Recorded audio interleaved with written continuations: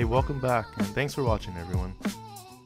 Sorry for the lack of videos recently, but as some of you may or may not know, my wife and I are both healthcare providers, and we're still working 40 hours a week with a child. And with this world pandemic going around, it's a little bit scary. And so to get my mind off things, I thought I'd sneak in this video. Our fridge is a little bit bare, and I just thought I'd throw whatever I could find. You know, I have some frozen corn, some spinach, sauce, and some cheese, and that's it.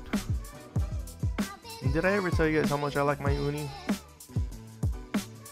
I mean, check it out. It's so small and portable.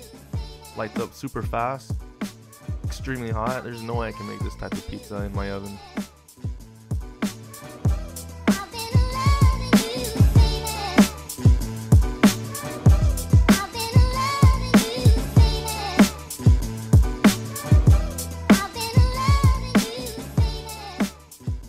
And even though this thing is small, I have been able to figure out a way to host up to 8 to 10 people and pump out these pizzas really easy.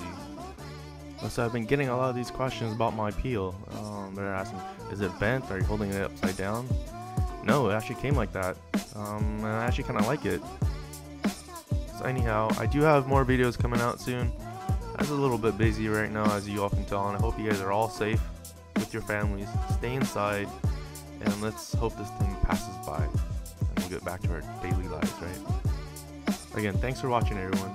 Thanks for watching. Thanks for subscribing, and thanks for commenting. Everything.